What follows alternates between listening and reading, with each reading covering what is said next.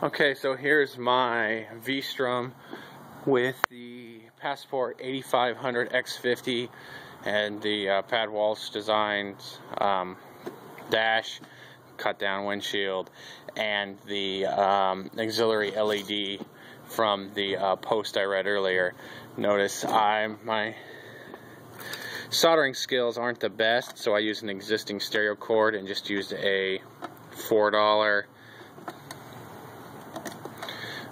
mono to stereo adapter and soldered the leads directly to the light.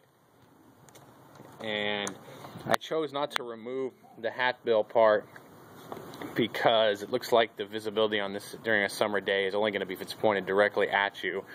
So I wanted to be able to adjust it to hit me right in the face. The on-off button still works so you can turn it off at night because it'll probably blind the crap out of you. Um, here's an example with it adjusted to hit right at eye level.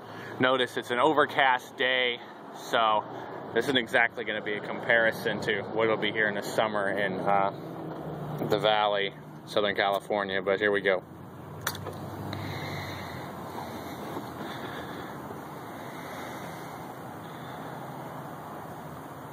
And of course, you can set this detector so it doesn't do that every time you start it up with all the flashing and crap. This is just um, to give you an example. But you'll notice if you're off axis, the light uh, is not really that noticeable. But if you get to eye level, thing really does uh, catch your attention.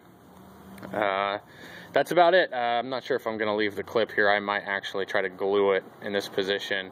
And I made my cord just a hair short, so I might change that.